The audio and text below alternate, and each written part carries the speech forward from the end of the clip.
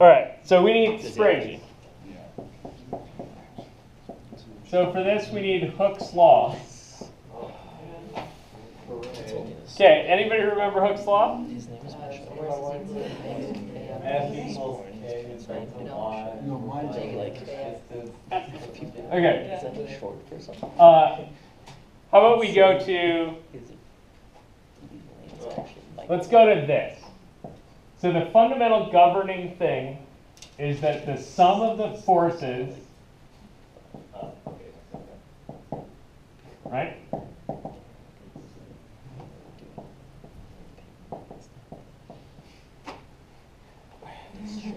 Right, so the, the vector sum of the forces is what? Mass? Mass of the system times the acceleration, right? This is like the only thing I know about physics, actually. Trust me, it's enough. So you start with this.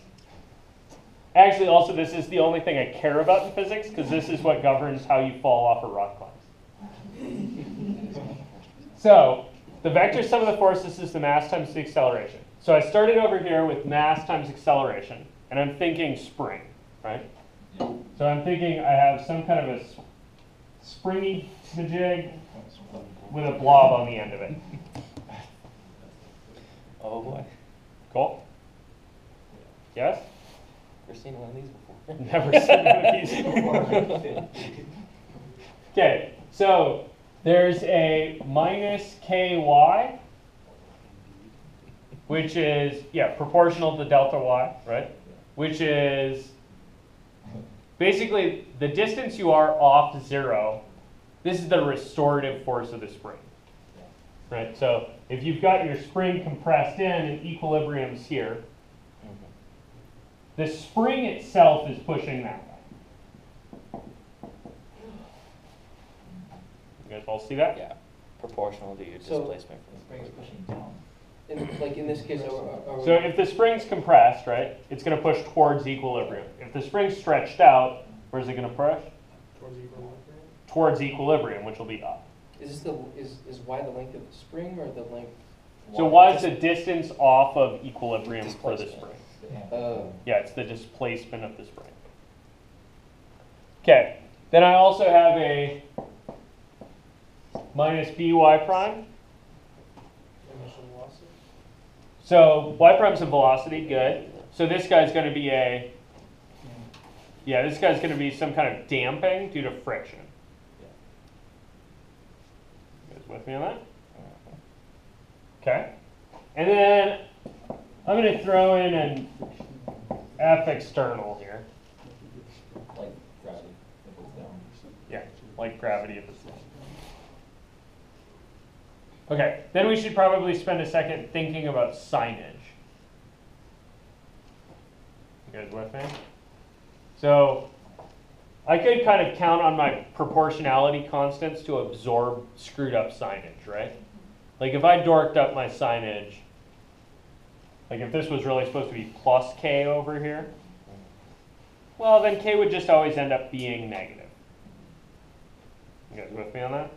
But we should probably think about it. Does that go the other way than the acceleration?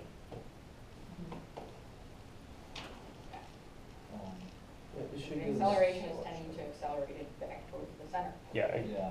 the acceleration should point back towards the center, right? And friction, yeah. So Yeah. think about this for a second. All right, so we can rewrite this as my double prime plus, how about plus by prime plus ky equals f external. Okay, now I would like to think of a way to solve this because I don't actually know how to solve these. You guys with me on that? Like right now, first day, this is a new beast to me. What is this thing? Second order linear, This is a second order. Right now, it's linear. non-homogeneous. It's non-homogeneous. Differential equation. Nice. Okay, So, if I wanted to solve this, you might do like the algebra 2 style thing. Look at this and what do you think of? Yeah, you look at this and you think to yourself, that looks a lot like a polynomial of degree 2. Yeah. So you think to yourself, probably the quadratic formula will help me somehow. And then you think, and then you think the thing that Anthony is making a face at me about, which is, that's idiotic. that clearly doesn't apply, and it doesn't clearly apply. But it turns out that if you think a little bit about this and make the right substitution, you get to quadratic formula land.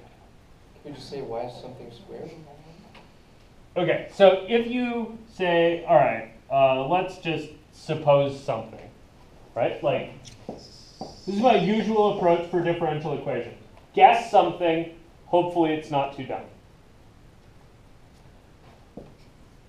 I'm gonna guess like y of x is, G squared? Uh, a squared plus b x plus c. okay. Oh, Like I could guess that y is a quadratic, Yeah. right? Like that's a thing I could do. It'll certainly get you something in each of those, uh, Yeah, okay, it'll get me something kind of, maybe, I don't know. So what's y prime then? uh, two AX plus B, Two ax plus b, and y double prime two A. is two a. Okay, so if I take this and I go plug it in over there, right, I'll get two am plus b times, Oh, we already have. oh crap. Which one do I want to change? I'm going to change this one. I'm going to put a hat on this b. Okay, so I have b from the over there times 2ax plus b hat plus Okay. k times X squared plus b hat x plus ax squared plus b hat x plus c. And this is supposed to equal the external force sum. Yeah, probably the external force sum is a bit much for me right now. Let me just solve the homogeneous one first, right? And then we'll just do the same crap we were doing before. We'll just like hit it with variation of parameters or something. You guys good with that as a thought? Okay, so if I multiply this out, um, I have a concern right now. Mike, what's my concern?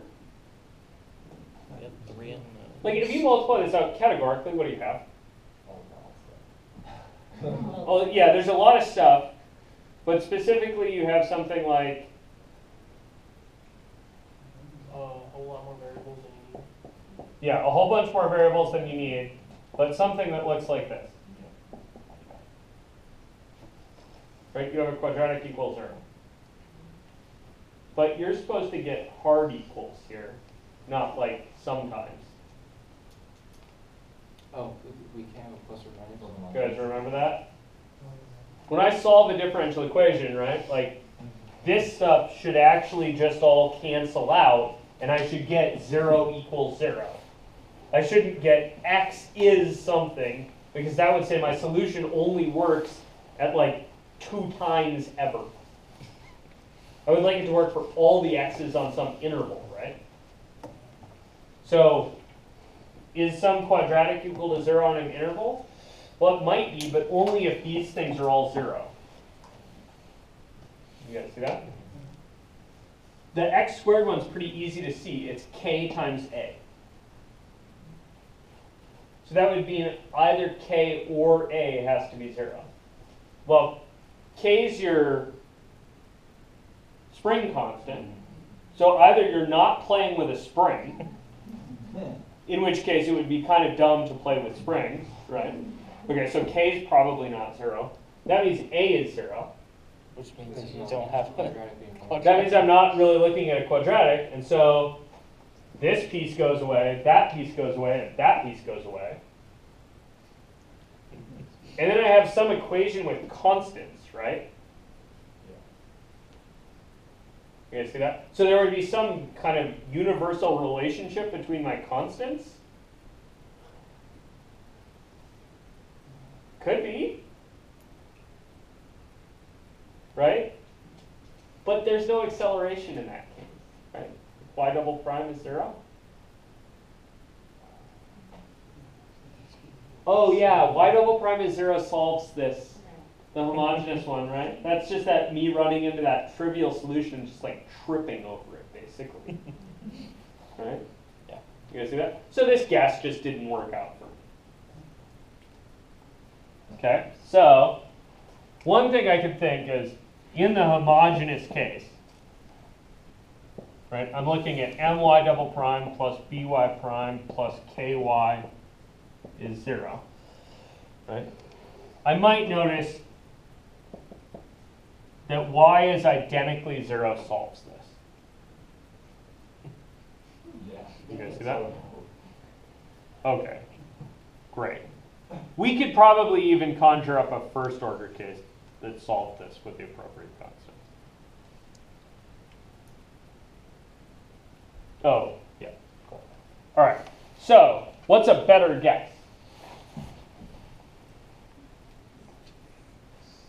All right, try this on for size. What's a thing that kicks a number every time you differentiate it? Here's the X. Close. e to the x is just itself every time you differentiate it. e to the ax kicks a number every time you differentiate it, right?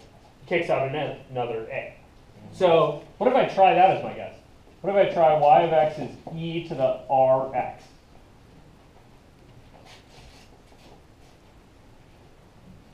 Right, it's just a guess. I can try whatever the hell I want. There's no guarantees it's going to work. But I can try whatever I want. So that prime is equal to one over R to R X. Already. R. And y double prime is r squared e to the rx. And then if you try to plug these in over there into my homogeneous version, I get m r squared e to the rx plus b r e to the rx plus k e to the rx is supposedly 0. Yeah, the e to the rx is all canceled, right? Just divide through by that. Why aren't I worried about dividing through by that? Yeah, the other side's 0, and it's never 0. Good harmony. Okay, so now I'm left with mr squared plus br plus k is zero. Hey, there's the quadratic formula. You guys see that? Yeah. Because now I'm not solving for x's, right? I'm solving for r's. And then when I get one of those r's, I'm just going to plug it in right here. Then I'll get a solution to my homogeneous differential equation. Okay, in Springland,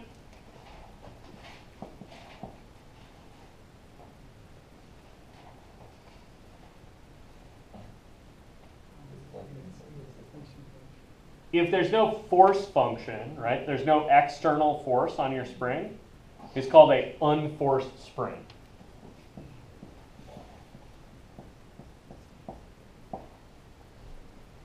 So it's not Does that stretched out or, it's not out of equilibrium? No, no, it could, it, you can start it out of equilibrium. It's just that there's no other forces. So the only forces on your spring are the spring restorative force and maybe friction. So we didn't. let So this doesn't have a little gremlin that comes along every once in a while and whacks it with a hammer. Spring. Yeah, it's not operating in a gravitational field, right? Like there's no gravity on your spring or an electrical, yeah, or any field. Mostly I like to think of, there's not some little thing messing with it. Like, these are just what it, like, the only forces are the spring itself and maybe friction. Cool. The little gremlin with a hammer is actually a thing we can solve. We're going to learn a way to solve those. They're really cool. Any questions on the idea of unforced springs? No? Cool. Should we do an example or two? Yeah. Yeah.